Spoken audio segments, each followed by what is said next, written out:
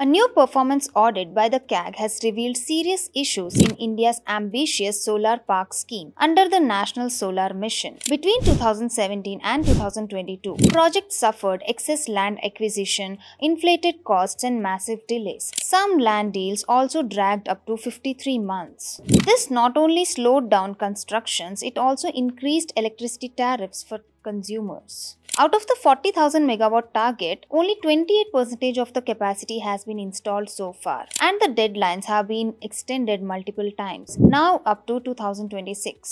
The report says more feasibility studies, repeated revisions in the project reports, and outdated solar potential are key reasons behind these failures.